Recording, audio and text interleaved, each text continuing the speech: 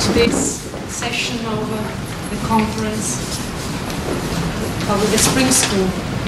So uh, it's a pleasure for me to introduce Professor Kate Sonderegger. I her pardon, yes, for the pronunciation of her name.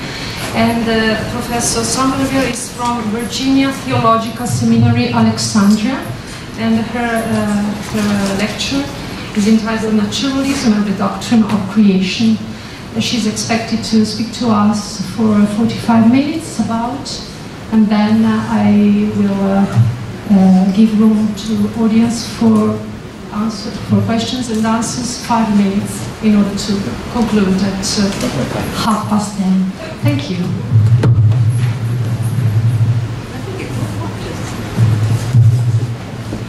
Good morning. Morning. It's an honor to be here, and I'm especially pleased to spend time with you this morning thinking over these topics uh, in the presence of a longtime friend, Lynne Rudder-Baker, whose work I admire enormously, and Roberta Monticelli, who is such a fine philosopher and friend. In a poem of rare mastery and power, the English poet William Blake muses about a creature enigmatically titled the tiger. Brawny and terrible, the tiger's fearful symmetry is forged in some terrible, unearthly furnace, sinews and eyes and heart hammered out in the fire of some distant deep. Looking back on his delicate songs of innocence, Blake asks the haunting question about this fearsome tiger. Did he who make the lamb make thee? Is this maker who, Prometheus-like, seized the fire to bring to life this terrible thing? Is this one the very creator of heaven and earth? Was his fiery act of manufacture a creation. And like the Lord God of Genesis, did this maker smile his work to see? Blake does not answer his own questions. Perhaps he considered the songs of experience from which Tiger is drawn to raise questions unanswerable within the life of sorrow and fear and sin we know all too well. Blake could not answer these questions, it seems, but perhaps he could lend us his framework to explore the doctrine he adumbrates so finely, the doctrine of creation in the modern age. A child and architect of the modern, Blake sensed in his poetic imagination the elements of the modern doctrine of creation in the West. The tiger sets out a vision, dark and brooding, of a world that is at once natural and distorted, familiar and alien, a maker, at once Lord of grace and a stranger, a creator and a terrible power. Here, we see the themes that will carry us from the brink of the modern, the late Enlightenment and burgeoning Romanticism, to the suffering heart of the terrible century, the 20th, and the dawn of our day, the 21st. We can summarize these elements this way. The theme of the natural of naturalism, the theme of the artifact, and the theme of Genesis, the absolute beginning of all things. The doctrine of creation most broadly and traditionally treats the absolute origin of all things from God. The prominence of our third theme, Genesis, marks out the modern era as fully traditional in the midst of many innovations. To be sure, Genesis in the 19th and 20th centuries could hardly speak with confident tones that were shared in the earlier eras. From the rise of modern astronomy and particle physics, to the carbon dating of our Earth, and the development of present-day animal species, the genesis of all things from God has found itself in the midst of pitched battles over the place and cogency of Christian doctrine in an intellectual climate dominated by the exact sciences and the fear of them.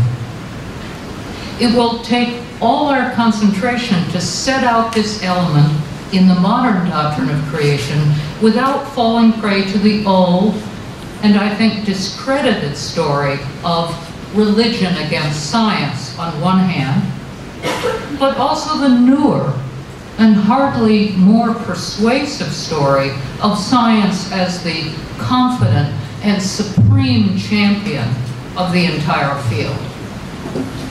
In sum, we will see the theologians of the modern and postmodern age strive to confess the doctrine of creation in a world that remembers Blake's natural lamb of innocence, but cannot forget the tiger that roams freely in our day, the natural lamb and the artificial tiger, each in its own way mysterious and demanding, each in its own way dependent upon the genesis of the Almighty Maker of heaven and earth. So I begin with the genesis of the natural world. Both the higher unity, but deep divisions too, in the understanding of God's genesis of creaturely nature, point to an original and rather unexpected question that will begin our entire investigation. When God created all that is, just what is it he made? Aspects of this question are not new, of course. As we will see, traditional elements will emerge throughout the discussion of this topic. But in the main, this is a modern question raised by modern science and the philosophy that accompanies it.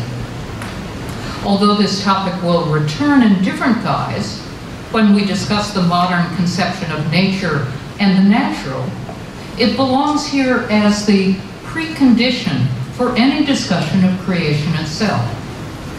The identity of that reality God created, its fundamental character, sets the terms of the debate over creation. And no exchange among modern theologians of creation can be intelligible apart from this conceptual underpinning. Just as Descartes' analysis of the nature and relation of body and mind set the terms of all modern debate about the mind and its relation to brain, whether Cartesian or no, so the fundamental analysis of the creaturely sets the terms of debate about the natural, whether Christian or no. It is the lens through which all modern Western theologians and their opponents see the world. So just what is it that God creates in the beginning of all things? Now, the instinctive response of most Christians through the centuries has been rather straightforward and filled with sturdy common sense. God makes all the things we see on our earth and all that belong to the starry heavens that stretch out beyond our earthly sight. It is just this instinct that is quietly affirmed in the straightforward or plain reading of Genesis, the book of Genesis greater and lesser lights, waters beyond the heavens and on the earth, swarming creatures of all sorts and winged birds, fruit-bearing trees, men and women and all animals, and light itself. All these, these theologians say, are made by the Lord God, fashioned into a garden, fit for human creatures to tend and flourish within. as we will see, this stout affirmation of God's will to create things, animate and inanimate, will lead to complex and painful encounters with the science of this present age. Yet, it is the plainest and to many the most compelling answer to the question before us just what did God make when He created the world? And it is not without defenders of a very sophisticated sort in this age and in the past. To express this common sense insight in more scholastic and philosophical language, we would say God created without any prior material or aid, that is, ex nihilo, complete or whole substances. The inner and living matter, the animals and organisms, the planets and stars in their courses, the measureless galaxies that make our world a cosmos. It is this language of whole substance which will find its way into the documents of Vatican I in 1869 and its controversial definitions of nature and grace. In the first decree of Vatican Council I, the canons of the dogmatic constitution of the Catholic faith, we read the following firm affirmation of a traditional Latin doctrine of creation. If anyone does not confess that the world and all things which are contained in it, both spiritual and material, were produced according to their whole substance, out of nothing by God, let him be anathema. But the roots of this council reach much further back, back to the greatest scholastic theologian in the West, Thomas Aquinas. Thomas gives voice to the common sense tradition in his doctrine of creation, relying on Aristotle's notion of substance, itself a complex concept with its own history, when he, Thomas, asserts that God created the world in one simple, motionless act, bringing out of nothing whole substances, both matter and form. This is from the 45th question of the prima pars of the Summa. Now, Thomas knew perfectly well that the cosmos was filled with more than objects, living or inert. He knew that the world of things was qualified by innumerable properties or characteristics. And he recognized that certain immaterial realities, ideas, values, numbers, time itself, governed much of what we call the world. These were also created by God, Thomas firmly concludes, but they receive a special delimitation. They are concreated by God, Thomas says, as these properties or qualia accompany all that is. To advert to more modern terminology and putting J.L. Austin's phrase to rather other purposes, we could say in this common sense reading that God creates moderate-sized dry goods when he turns outward to make finite reality. Now, notice how such a concept affects the doctrine of creation in all its parts. When we encounter debates over Darwin's theory of evolution, say, or Heisenberg's theory of thermodynamics, or in another dimension, astrophysical accounts of the Big Bang. We see modern theologians of the moderate-sized dry goods school attempting to square their doctrine with these scientific accounts as they relate to visible, tangible objects the level on which it takes place. In their doctrine of creation, they are anti-reductionists. The scopus, or goal of God's creative will, that is, is directed toward objects. The debate for these theologians assumes this goal, and from this presupposition, turns then to questions that remain on the composition of objects and their creaturely origin and destiny. For this reason, the evolution of the species posed the greatest threat to these theologians' doctrine.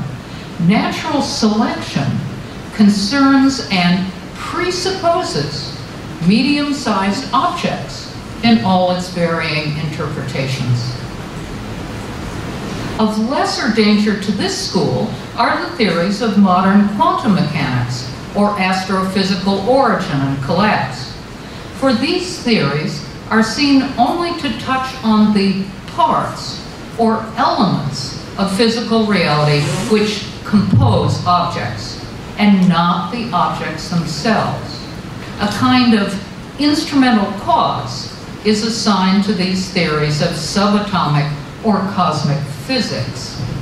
God may make use of these particles and their behavior to achieve his goal, the creation of medium-sized objects in a harmonious universe.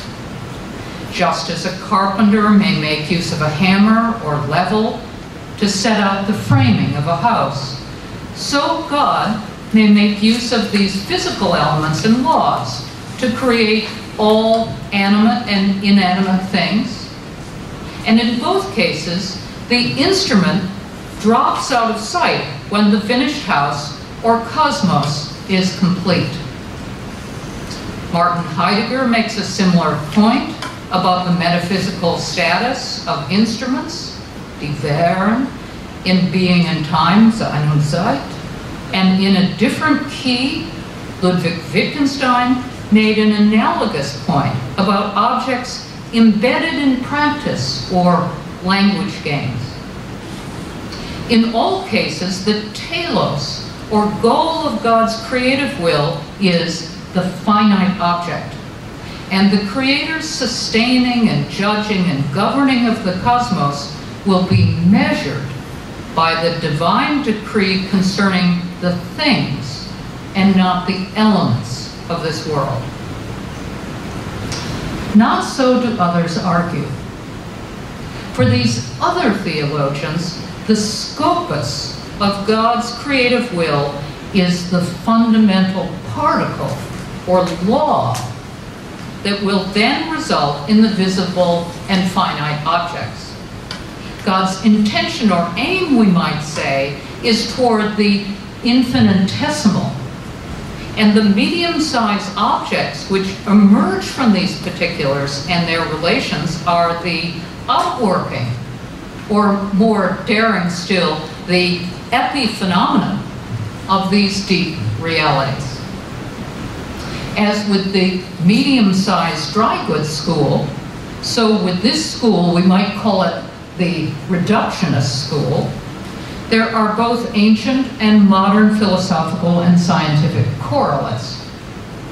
To find our ancient corollaries, we must reach back to the very roots of the Western philosophical tradition, to the pre-Socratic philosophers of Attic Greece. Ancient indeed is the human impulse to discover the deepest reality or fundament of the world. Many of the earliest philosophers, as do their modern counterparts, held that the foundation of things could be uncovered by going deeper, moving down through the layers of the known and visible world to a hidden and truer element that is the basis of all things. For such thinkers, all things are in reality, one thing or one kind of thing. Though the cosmos appears diverse, it can properly be reduced to one element, one particle or kind. Heraclitus taught that the world, in its deepest and truest sense, was fire.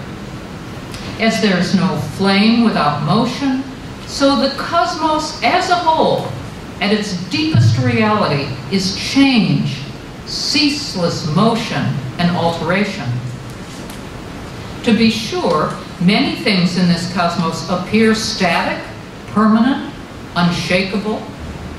But it is just this appearance to the eye and common sense experience or measurement that must be set aside and seen through to its deeper identity. A parallel but inverted scheme can be seen in Parmenides, for whom being is eternal and all change an illusion.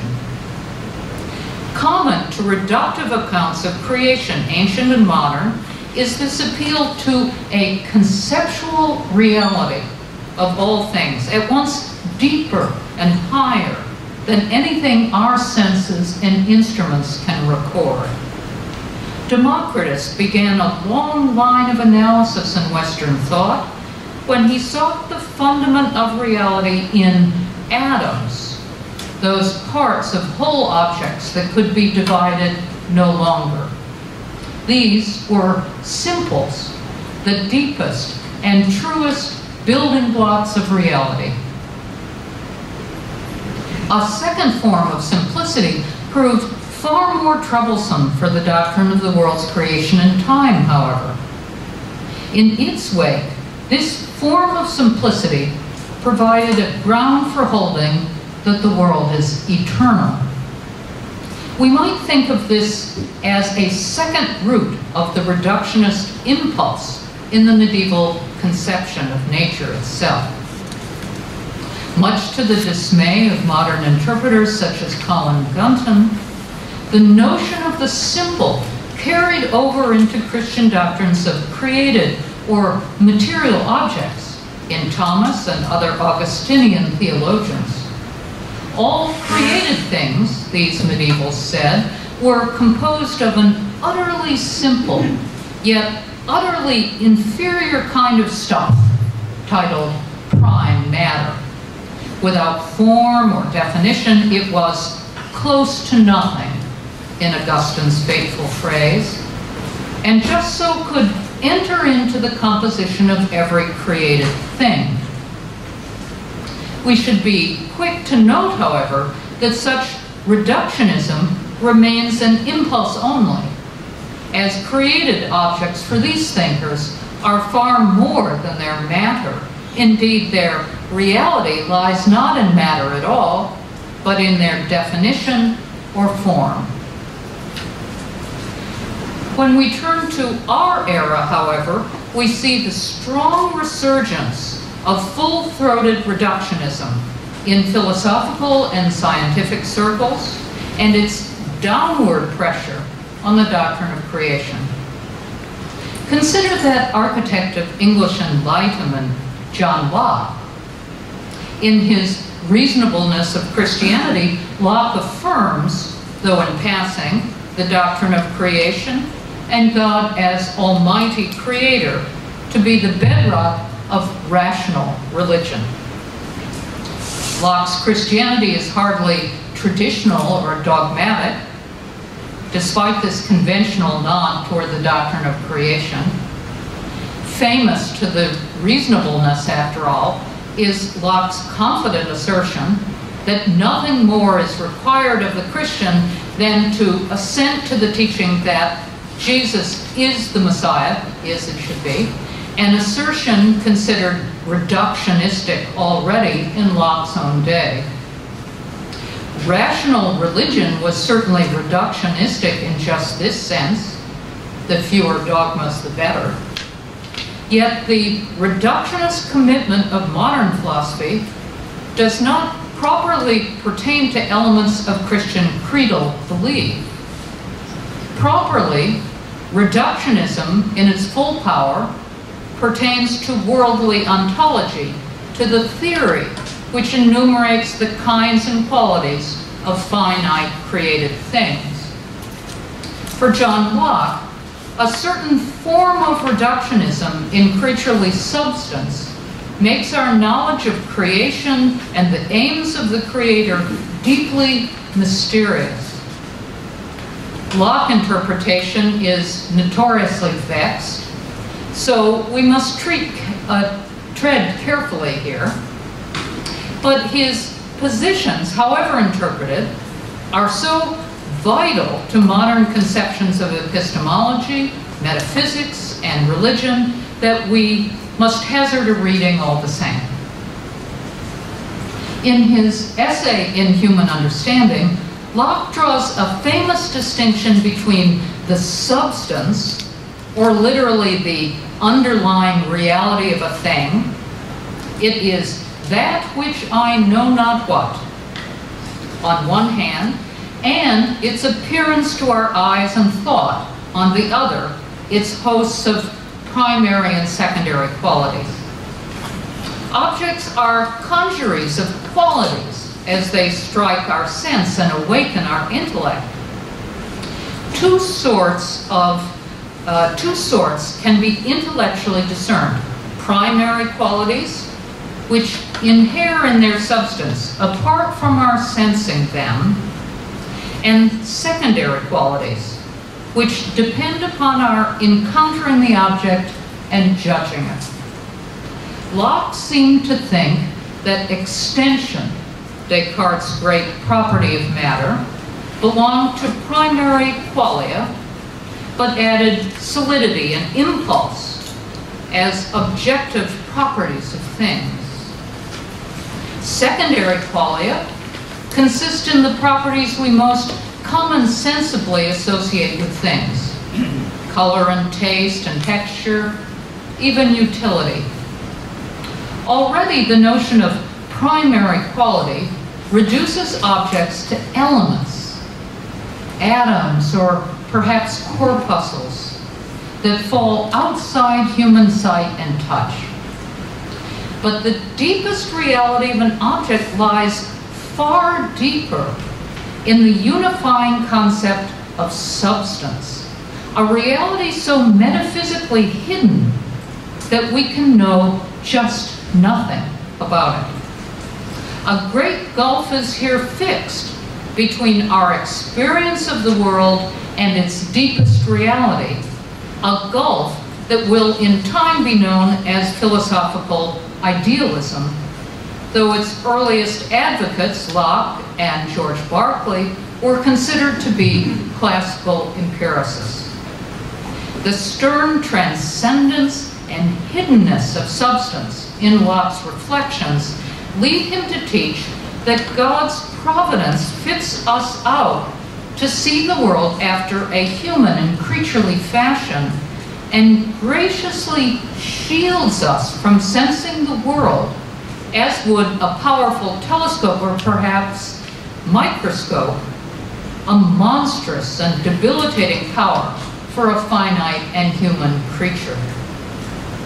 Yet the goal of God's creative will is the substance, with its primary properties, the deep and true unity of all things. And it is just this that we can conceive through reflection, but never encounter or know. Such ideas live on in the philosopher of Lutheranism, Immanuel Kant. For Kant, the world of medium-sized objects could be understood and known only by retaining clearly in the mind a distinction or schema that separates the truest reality of a thing from its appearance to its sense to our senses. That distinction is Kant's celebrated contrast of the noumena from the phenomena in every act of knowing. Kant does not deny that we have certain and trustworthy knowledge of the world. Indeed, his critical philosophy presses every lever to achieve such certainty under the conditions of modern scientific thought. Yet Locke, like Locke, Kant's distinction between things in themselves, of which we can know strictly nothing, and things for us, forces Kant to radical positions that threaten the foundations of his very campaign. So radical is Kant's denial of the experience of, and so the knowledge of the deep underlying substratum of objects, that it is not clear whether in the Critique of Pure Reason, Kant affirms a particular substance underlying each object, or whether in the end he must affirm that there can be only one noumenon, an utterly uniform, simple, or prime matter that supports each object and its qualities. Puzzles of this kind led Kant to express reservations about most traditional metaphysical and theological categories, from the doctrine of the soul to the doctrine of creatio ex nihilo. Dogmatic doctrines of this sort must be relegated to the realm of moral and intellectual usefulness. These ideas regulate or limit our thoughts so that in Kant's celebrated trio we can recognize what we can know, what we can hope, and what we can do. Kantianism, then, is reductive in a critical sense. The truest reality of the world lies underneath what we can encounter and know. We cannot know it, but can only infer and point to it. It may be in reality but one substance, and we cannot properly know, but rather believe and postulate that God as creator willed and sustains it in being. Modern scientific accounts of the physical law of finite objects do not stray so far from Kantianism, though in a strong and reductive sense. Consider the modern thermodynamic concept of the cosmos. Here, we find a reductionism so thoroughgoing that to apply it directly to the doctrine of creation would entail a symbolic or mythic reading of Genesis altogether. That is because the objects named in the creation narratives could scarcely constitute the goal of an omniscient creator. Rather, the author of the physical laws of the universe would aim instead at the deep and universal reality of the cosmos energy. Matter, for these physicists, is a form of heat or energy. From the largest visible object to the tiniest subatomic particle, energy constitutes the building block and deepest reality. Indeed, the very notion of an object or thing is revised in such quantum physics.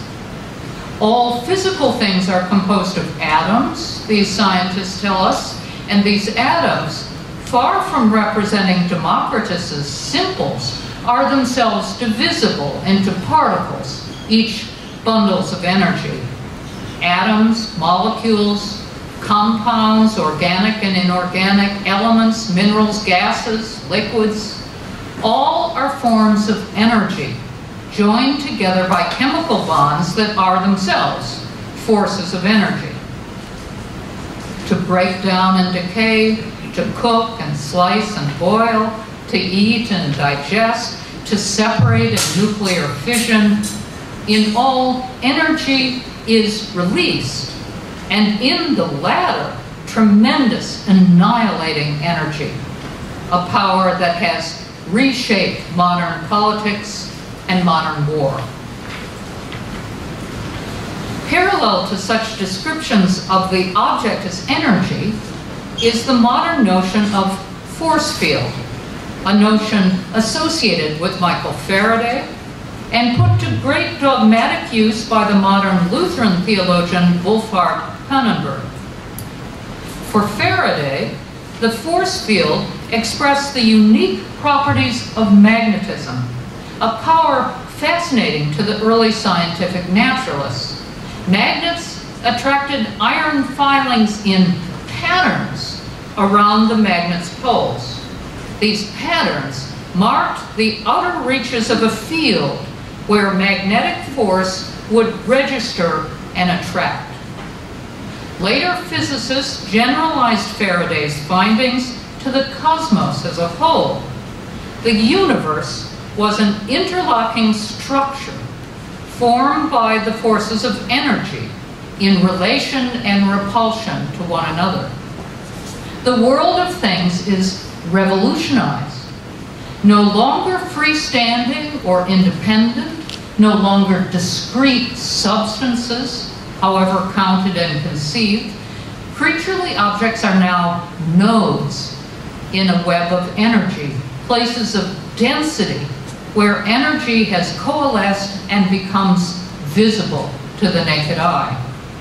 This web of relation gives rise to objects, scarcely conceivable to an earlier generation, yet it has now become the fundament of all finite reality, the energy that drives the universe in all its parts.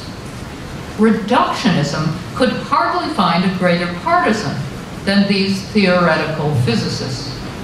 The Heraclitan fire returns now under the idiom and concept of energy and its forces. One step remains. In modern philosophy of science or in metaphysics, reductionism is laid out as a complete theory of the cosmos and all things within it. For these philosophers, particularly in the Anglo-American analytic tradition, all objects, organic and inorganic, all artifacts and culture, every thought and hope and belief, all matter, living and inert, must be in fact and reality a collection of subatomic particles. For metaphysicians such as Quine or philosophers of mind such as Jaegwon Kim, everything that is and every thought conceived and held must be traced back to these particles, either in element and molecule or in brains and their chemical structure and state.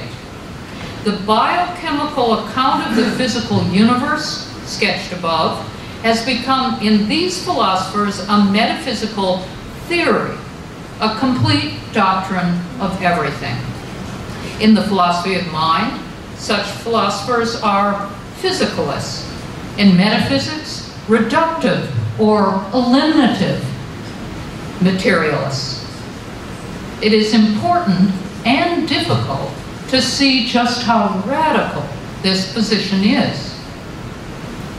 If we were to count up all the things in this world, these philosophers say, we would count no trees, no rocks nor birds, no kitchen chairs nor dessert plates, no Sistine Chapel, no Michelangelo.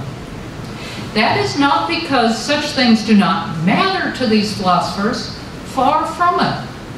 Rather, these beings and objects belong to a human, cultural, linguistic world that we might call phenomenal, following Kant, or intentional, following the physicalist Daniel Dennett but such artifacts and conventions and practices, if they are to belong to a true and scientific account of the world, must be seen for what in truth they are, a collection of particles arranged thing-wise.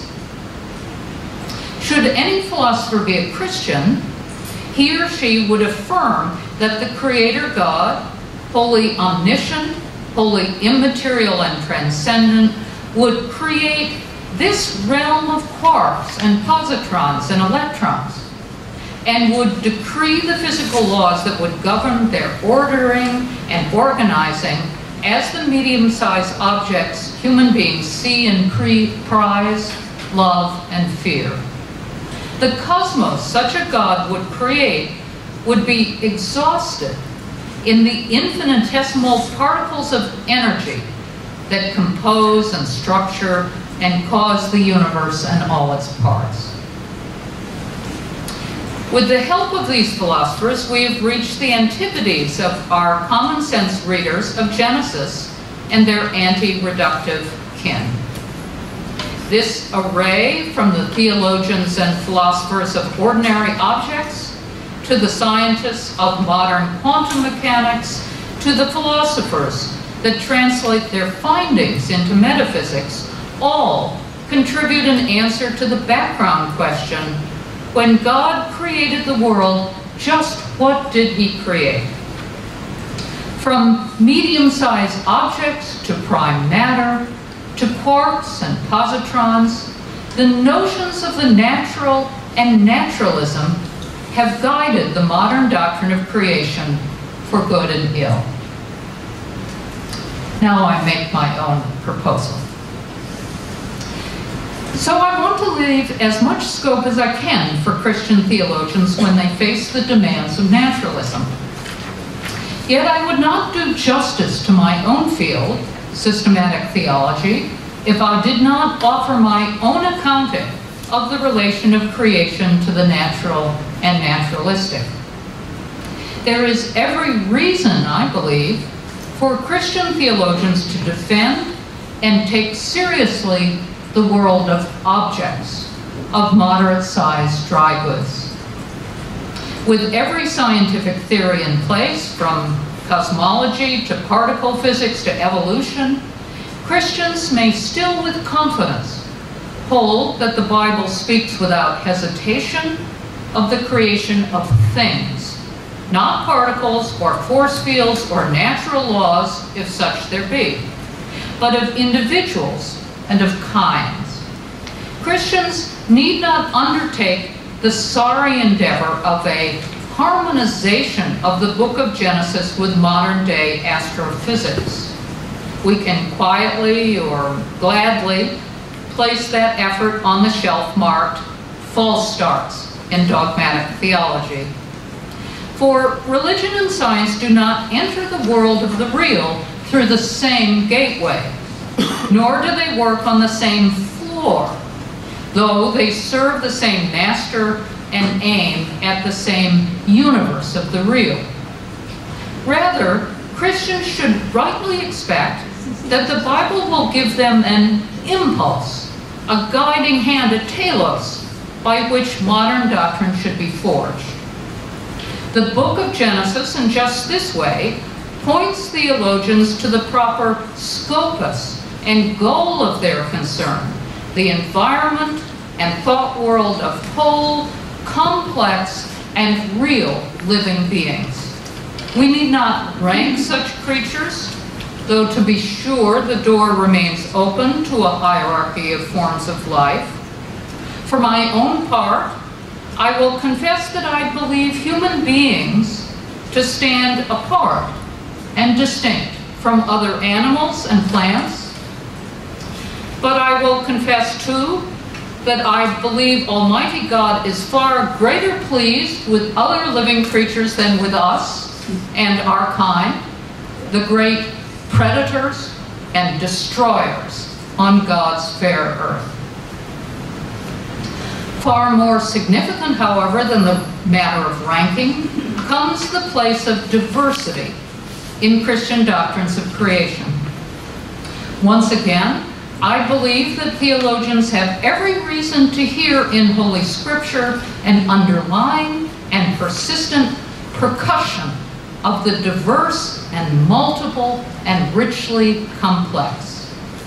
Christian theologians, that is, have good reason to resist the ancient pull of reductionism, of simplicity, of uniformity.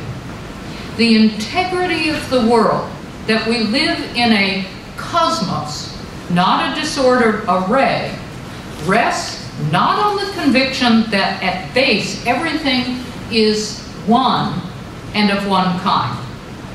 Rather, the remarkable and irresistible conviction that we live in an integrated whole, a working universe and a home, rests not on its substance, I say, but rather on its relation to another. Unity is an external and relational property, an essential one. The entire world comes from God, the Creator, and in virtue of his work and gift, it is a whole.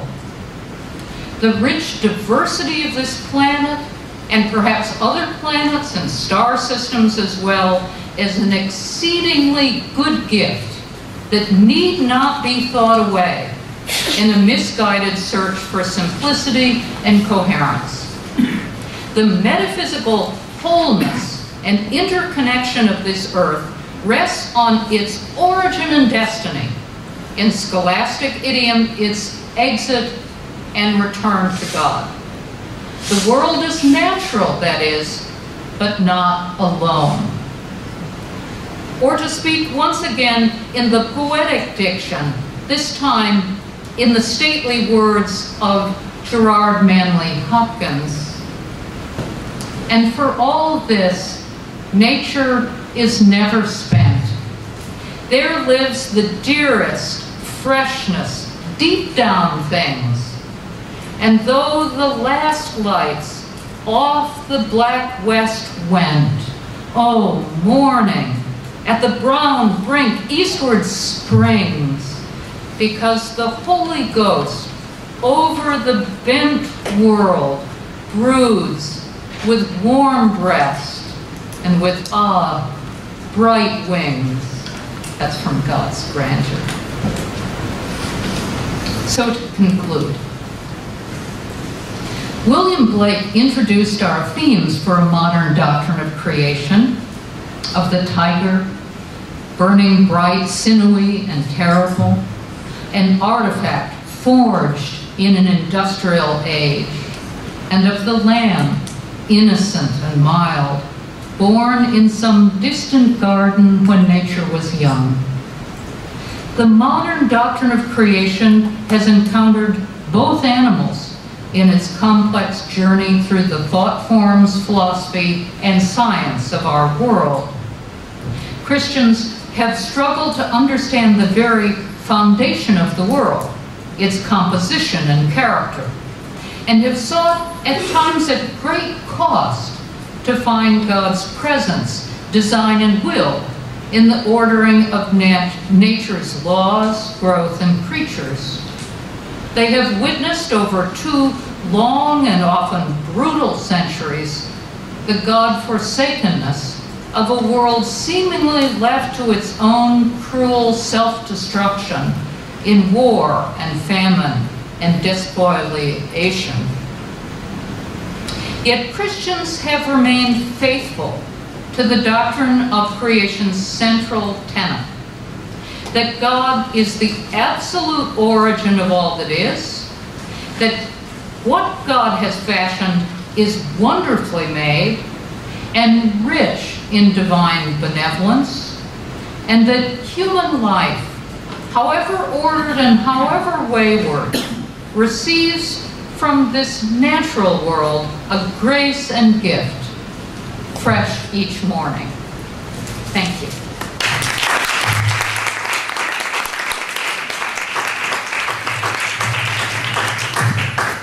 Thank you very much. A very, a very beautiful lecture and also many emotions have been provoked. So uh, please, uh, we can we can open our Professor Pekka. Yes, first of all, thank you, Kate, for this magnificent, magnificent lecture. Thank It's you. also, I think, a, a lesson in the English language. I really followed it with the biggest pleasure. And now I wanted to make clear that it's, in, in, because of the fact that we were late uh, in beginning, uh, in order to wait for the other people coming, uh, I, I do think that we can take more than five minutes Yes, uh, 15. uh, Absolutely. discussion. I 15 good. minutes for discussion now, and then we can postpone. Right, right. Anyway, uh, okay, or, or we can, No, Yeah, 15 minutes.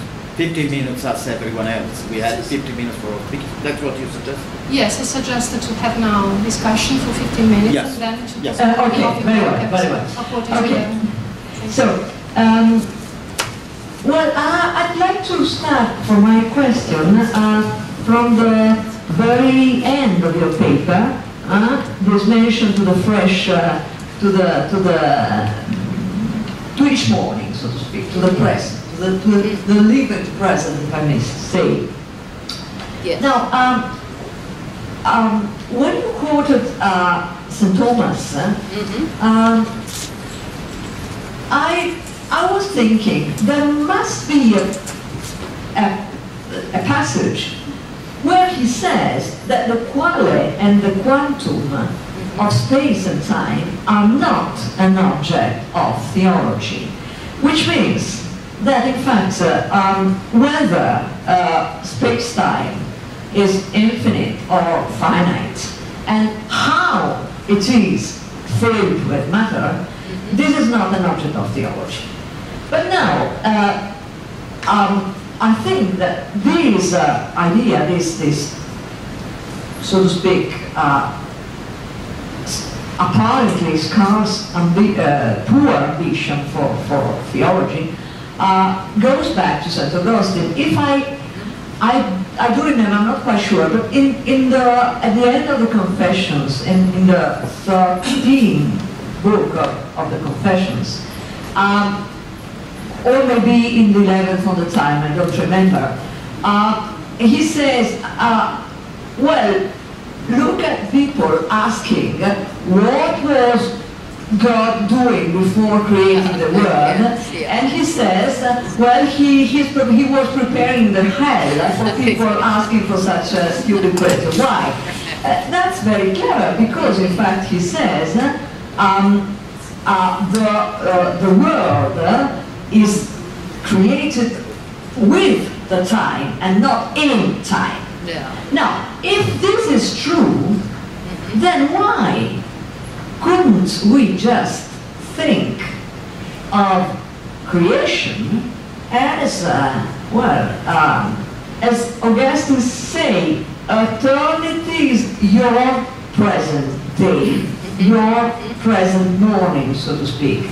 So, as a kind of, uh, so to speak, uh, uh, always uh, new origin of the world every day, every moment, every present, which would be compatible, wouldn't be, with the idea of the ontological novelty of things all the time. I mean, the fact that we are. Okay, that was my idea, but I don't know if it's compatible with what you said. Yeah. Right. Maybe we can collect two more questions in order to respect time. Non.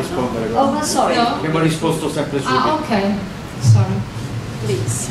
I will I try was, to be brief. I I hope it was not too long, I'm sorry. No, no, we have a theologian in our midst. Um, I think there are a, a couple of ways we could think about these uh, wonderful themes that you've raised, Roberta. Uh, one possibility is to look at the uh, debate in the, in the prima pars of, about whether the world is eternal or not. And uh, perhaps that's the section you were uh, considering, Roberta. Uh, there, I think, um, how are we doing now on sound? I'm coming up. Yeah, okay. Um, There, I think uh, Thomas is willing to say that the uh, creatio ex nihilo is an article of faith uh, and does not have uh, demonstrative uh, status uh, in natural reason.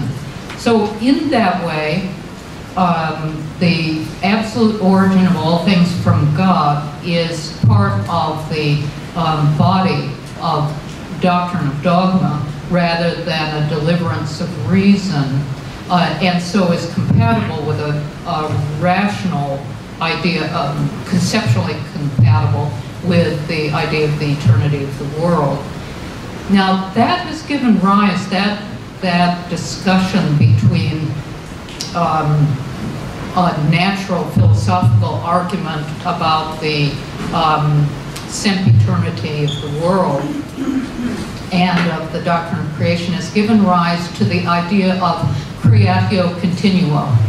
And I think that would be compatible with your second view, and this is a view that Schleiermacher, uh, the great 19th century theologian, and in uh, closer to our day, Paul Tillich, the German-American theologian, held that creation is not an, uh, an act at the origin uh, by which uh, things are made, and then there is some kind of distinction, a Sabbath, uh, where providence then begins.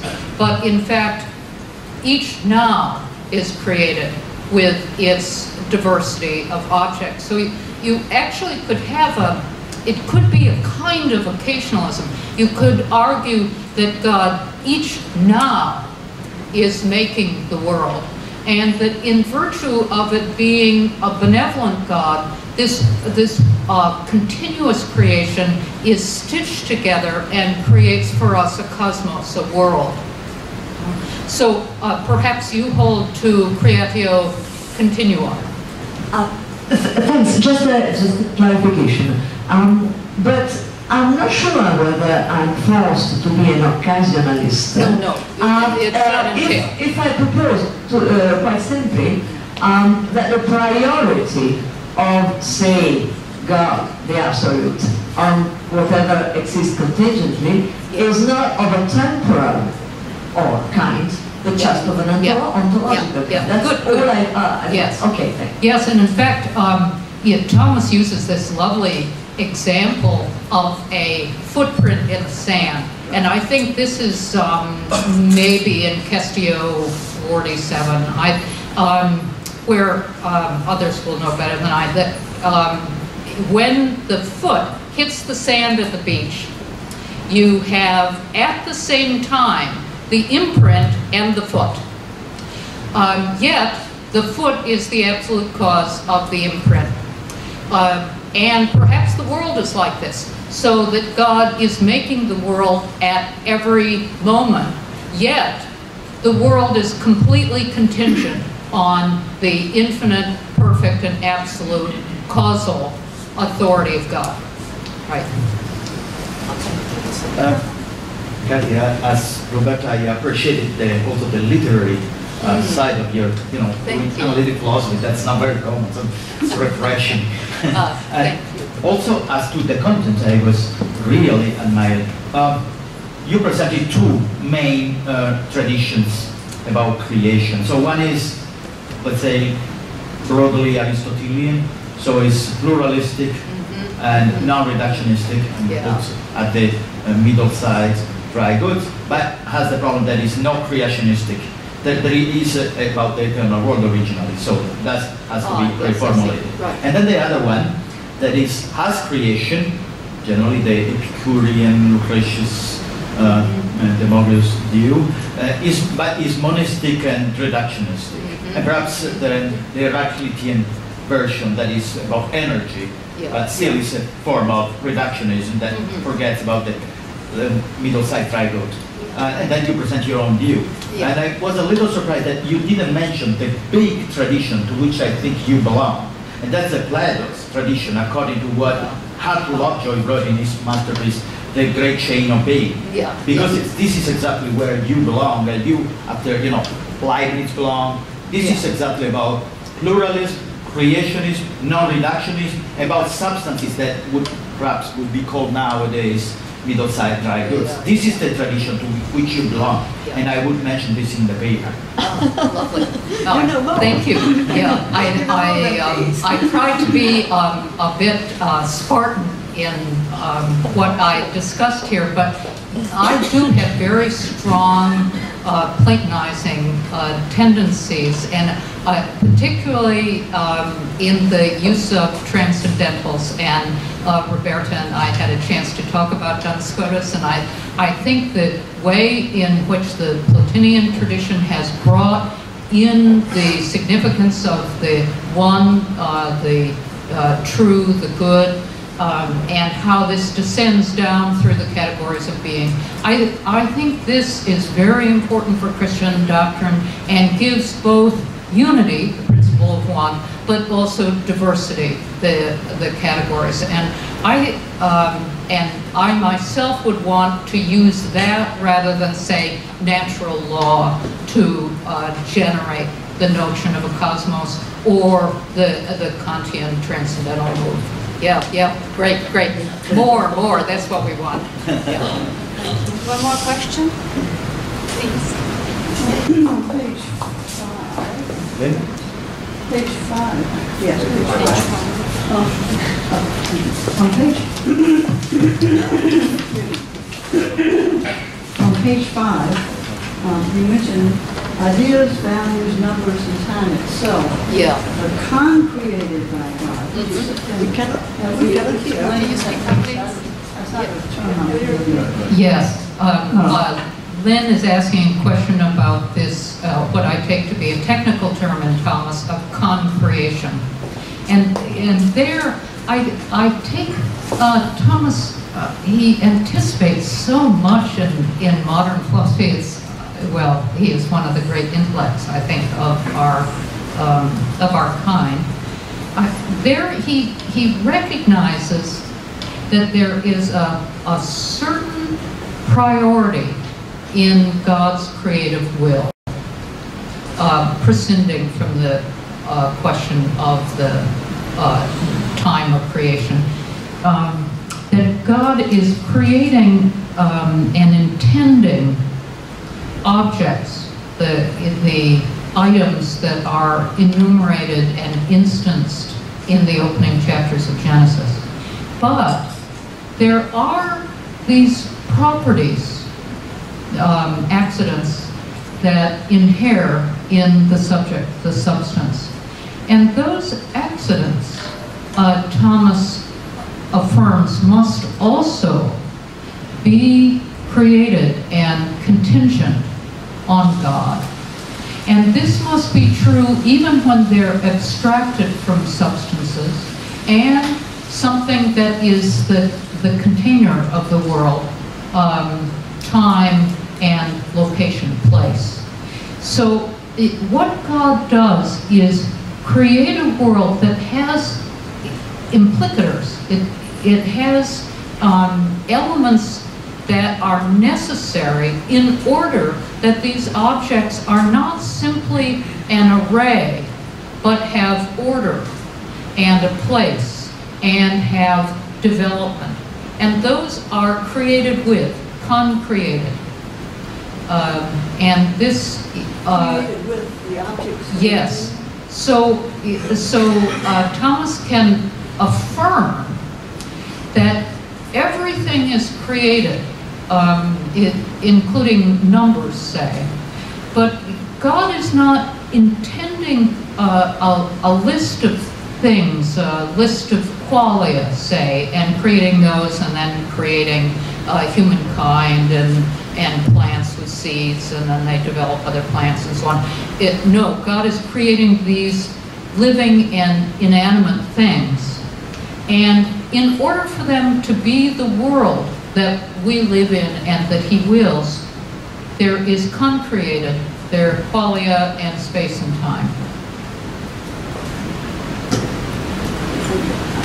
I'm wondering about things like mathematics. Yeah. Descartes thought that it would be possible, I mean, that God could make it that two plus three did not equal Oh, five. yeah, right. Do you think that, is that, the- is that the kind of creation you're talking about?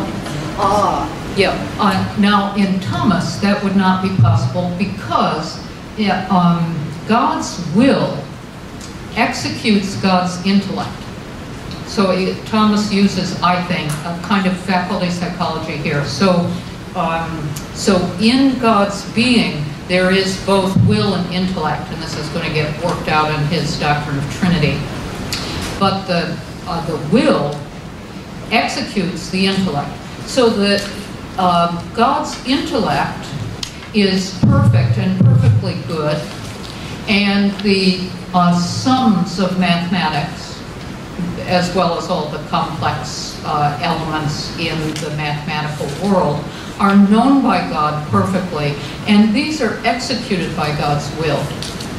Now, there's some talk in, in later scholastic thought when the faculties are reversed and the intellect is uh, knowing what has been willed and the will is primary.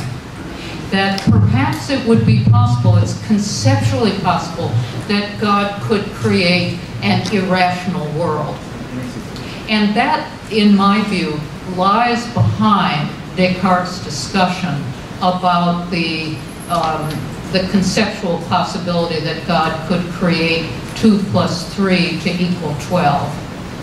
Can, I add something on that? Because I think the point here is potentia ordinata, potentia absoluta Yeah, good, good, So yes. for, uh, For Aquinas is potentia ordinata, so the Yeah. intellect sees the laws of nature, the laws of logic, of mathematics Yeah. cannot change them. But for late people like Gregorio Bernini and these Yeah. people, Right. it's the Uh, reverse, and certainly the Descartes depends on them. So there, the will can do what they, what God wants, and the Yeah. intellect obeys. Yeah. So it's vol- voluntarism against uh, versus intellectualism. Right, and, uh, and especially if you pick up that theme in Gabriel Biel, say, of a double covenant. So uh, there's, there's this kind of covenant of uh, the ordained world, the world that we experience and the world of the church and its sacraments. But there's also a kind of um, a wild, unconstrained power, an absolute power of God. Uh, and this um, is some kind of possibility in God. It, uh, and there is scholarly debate about whether Luther was influenced by this when he talks uh, about the, the uh, naked God as opposed to the God who is clothed by grace. Uh, now, such a God could create a hellish world, could create a world that is uh, finite yet completely disordered and completely irrational.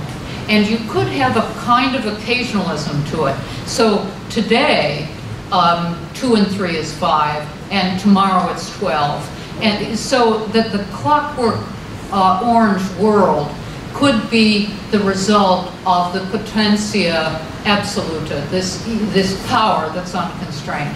But uh, God's goodness uh, prevails so that God in fact has created an ordered world. All right, this is, uh, so I, I deny these two powers.